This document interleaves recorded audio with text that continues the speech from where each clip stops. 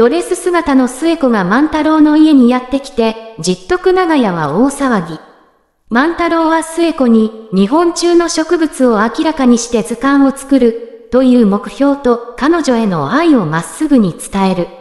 末子は必ず図鑑を完成させるよう万太郎に約束させ、共に大冒険を始めることを決意する。